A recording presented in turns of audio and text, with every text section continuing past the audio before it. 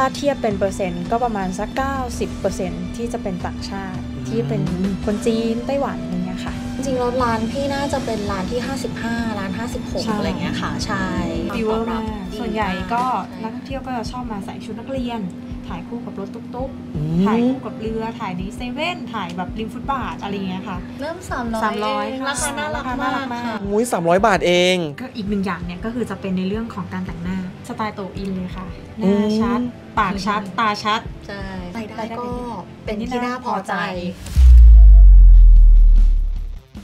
นับหนึ่งถึงล้านครับ วันนี้ปูปั๊บพาทุกคนมาที่วัดอรุณครับ วันนี้เราจะมาดูเรื่องราวของซอฟต์พาวเวอร์ไทยครับ ที่สร้างรายได้ ซึ่งที่หน้าวัดอรุณครับ ตอนนี้ร้านเช่าชุดไทยแบบเยอะมากๆเลยครับ ไปดูกันครับว่ารายได้จากการเช่าชุดไทยเนี่ยนักท่องเที่ยวต่างชาติที่ฮิตมาแน่นทุกๆร้านเนี่ยจะสร้างรายได้เป็นกอบเป็นกำขนาดไหน วันนี้เรานัดกับพี่ๆร้านมาดามวัดอรุณไว้ครับ ไปคุยกับพี่เขาและสอบถามเจาะลึกกันไปพร้อมกันเลยครับ นี่ครับร้านอยู่ตรงทางเข้ากองทัพเรือเลยครับ มาถึงก็คือเห็นเลยก่อนถึงวัดอรุณ ด้านหน้าก็คือลูกค้าเยอะมากตอนนี้ ก่อนอื่นเลยเดี๋ยวเราไปทักทายพี่ๆเขาก่อนครับ สวัสดีครับ สวัสดีครับโอ้โหกำลังแต่งหน้ากันอยู่เลย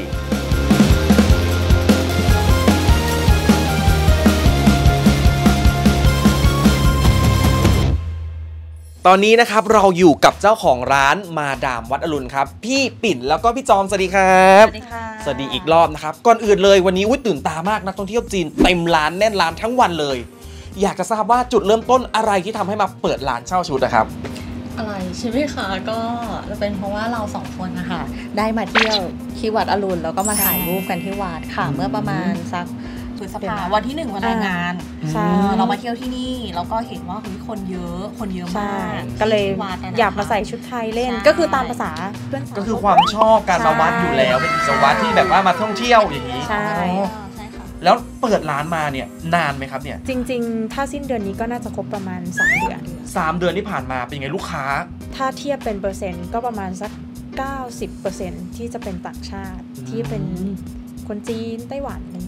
เงี้ยค่ะ พอดีว่าเป็นคนที่ชอบเที่ยววัดอรุณเหมือนกัน แล้ว 2 ปี 3 ปีที่ผ่านมา ร้านเช่าชุดเนี่ยไม่ได้เยอะขนาดนี้ แล้วมันเพิ่งมาเยอะเมื่อนานมานี้ไหมครับเนี่ยเอาจริงๆแล้วร้านพี่น่าจะเป็นร้านที่ 55 ร้าน ใช่ 56 อะไรเงี้ยค่ะ ใช่โหร้านที่ 55 56 ใช่ใช่ค่ะค่ะแสดงว่าแถวนี้คือร้านเช่าชุดเยอะมาก เยอะมากค่ะแล้วทุกร้านคือแน่นกันหมดไหมครับเนี่ยแน่นนะคะ ก็ก็คนเยอะคใช่ นเยอะ แล้วพอลูกค้าเยอะขนาดนี้อย่างเงี้ยครับ ร้านเราอะมีอะไรที่ดึงดูด นักท่องเที่ยว ทั้งต่างชาติทั้งฝรั่งคนจีนอย่างเงี้ยที่แตกต่างจากร้านอื่น ที่เป็นจุดขายเลย ถ้าเป็นจุดขายของร้านเราเราก็จะดูแลต้อนรับลูกค้าด้วยความอบอุ่นนะคะเน้นเป็นในเรื่องของการบริการอืมการแนะนำบอกต่อมากกว่าอ๋อใช่แล้วถ้ามาร้านนี้อย่างเงี้ยครับเห็นชุดเยอะแยะมากมายเลยค่ะมีชุดไหนที่แบบลูกค้าชื่นชอบมากๆเลยหลัก ๆ เลยที่เนี่ยเอาจริงๆเราต้องใส่ชดานะคะ ที่ร้านเราก็จะเน้นเป็นใส่ ก็คือใส่ปุ๊บแล้วก็รู้เลยว่าเป็นคนมาเป็นชุดไทยแน่นอน ใช่ค่ะมาจากวัดมาดาเอ่อมาดามมาราดุนแน่นอน อ๋อ ชุดไทยสบายเฉียงใช่ อ๋อ แล้วเห็นว่าอีกอย่างหนึ่งที่นักท่องเที่ยวจีนมาที่นี่คือทั้งกระแสซีรีส์ของไทยด้วยที่มีการใส่ชุด อ่า เป็นชุดอะไรเอ่ย ชุดนักเรียนก็ถื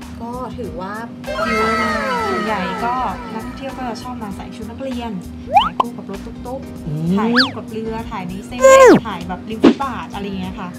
ใช่ในเซเว่นด้วยใช่อ๋อชุดไทยเนี่ยนอกจากนักท่องเที่ยวที่มาเช่าชุดไปเที่ยวเดินวัดอรุณแล้ว มีภายนอกมาเช่าอีกไหมครับเนี่ยก็จะมีเป็นบริษัทจัดงานเลี้ยงประจำปีอะไรอย่างเงี้ยค่ะ ก็ก็จะแวะเข้ามาเช่าที่ที่ร้านเราเหมือนกันเพราะว่าหนึ่งเลยคืออืมชุดเราใหม่แล้วก็สะอาดด้วยค่ะอย่างชุดมีเยอะแยะมากมายอย่างเงี้ยราคาที่เนี่ยเริ่มตั้งแต่เท่าไหร่ถึงเท่าไหร่ครับ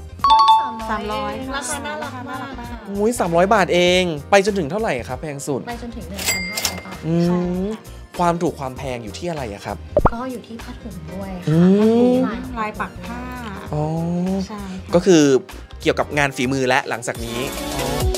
่งอ เนี่ยก็คือจะเป็นในเรื่องของการแต่งหน้า การแต่งหน้าเนี่ย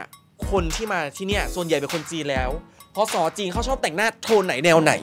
สไตล์โตอินเลยค่ะ ตาชัด ตาชัด ใช่ใช่ปากเป็นทางหูลู่อ๋อจริงๆก็วาดเกินๆขึ้นใช่มานิดนึงอ๋อกิตตงกิตเตอร์ใช่แน่นวิงวิงอย่างนี้สมมติยืนอยู่อีกไฟแดงหนึ่งกับพี่ตาปึ๊บปึ๊บปึ๊บปึ๊บเห็นเลยใช่เดินผ่านคือเย็นเพราะขนตาก็คือ จึงมาก ฉ่ำมาก พอการสไตล์การแต่งหน้าโตอินอย่างเงี้ยครับ ราคาล่ะครับ เพราะแต่งแต่งหน้าเนี่ยแตกต่างจากแต่งหน้าไทย ค่อนข้างที่จะมีรายละเอียดที่เยอะ ราคาแพงนะครับ จริงๆ ราคาเราก็พื้นฐานราคา1,500 บาท อืม1,500 บาททั่วไปเลย ใช่ ถ้าคนหลายๆคนเนี่ยคิดว่าราคาแพงไปหรือเปล่า อยากมา ให้เห็นเวลาการแต่งหน้า ใช้เวลา ไม่น้อยเลย คือเอาจริงๆแล้วร้านมาดามวัดอรุณของเราอะค่ะ จะเน้นในเรื่องของการแต่งหน้าเป็นหลักนะคะ อย่างแรกเลยผลิตภัณฑ์ที่เราใช้อะค่ะ เราก็เป็นเคาน์เตอร์แบรนด์ทั้งหมดแล้วก็ที่แต่งก็ค่อนข้างมีประสบการณ์นะคะ ไม่ว่าจะเป็นจากเวทีการประกวดหลาย ๆ เวทีนะคะโอ้ใช่เขาก็จะใช้เวลาในการแต่งหน้าคนนึงอะค่ะ ก็ไปอยู่ที่ประมาณ 1 ชั่วโมง เพราะฉะนั้นเราใส่ใจในการแต่งหน้ามากโอ้โหแล้วนักท่องเที่ยวเขารอไหวไหมครับเนี่ย ก็เขาจะเป็นแจ้งเวลาเผื่อเวลาให้ค่ะ อ๋อ แล้วคิดว่า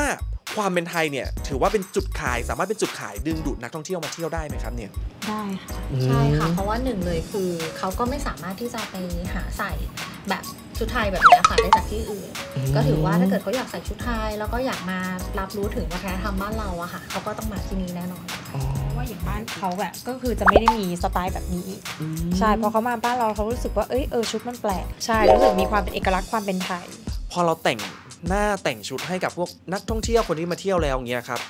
เราเห็นเขาสวย เราเห็นเขาถ่ายรูปเขายิ้มแย้มเนี่ย เรา happy ไหมครับ มีความสุขมีความสุขมากค่ะใช่เราจะถามเขาทุกครั้งเวลาที่เขากลับมาว่าเขา happy ไหมกับรูปที่เขาถ่ายอะไรอย่างเงี้ยใช่พอนักท่องเที่ยวเนี่ยคือคนไทยมันน้อยมากเนี่ยครับ เวลาใครที่อยากจะมาร้านเราเนี่ยคนต่างชาติเขารู้ได้ยังไงอะครับ ส่วนใหญ่แล้วเราก็จะเอ่อโปรโมทในแอปของเขาอืมอย่างต่างชาติเขาไม่ได้เล่นเอ่อถ้าอย่างคนจีนเขาก็จะไม่ได้เล่นอินสตาแกรมใช่ไหมคะครับเขาก็จะมีเหมือนอินสตาแกรมบ้านเขาก็คือจะเป็นเสี่ยวหงชูใช่ค่ะ ก็คือมีอัปเดตลงเรื่อยๆอย่างเงี้ยครับอ๋อแล้ว walk in ล่ะครับ มีมันมีบ้างไหมครับ walk in ก็มีทุกวันนะคะอืมเพียงแต่ว่าเราก็จะเน้นจะเน้น booking อ๋อทำไมถึงเราต้องเน้น booking มากกว่า walk in นะครับ คืออยากจะให้ลูกค้าเข้ามาแล้วเขาได้ใช้ manage เวลาได้ใช่เมเนจเวลาได้ถูก แล้วก็ได้ใส่ชุดที่เขาต้องการ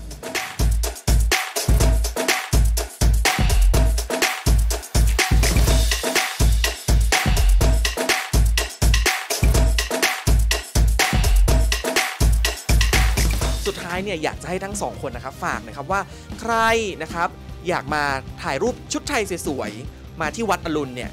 มาร้านมาดามวัดอรุณ มายังไงติดต่อยังไงดู reference ได้ช่องทางไหน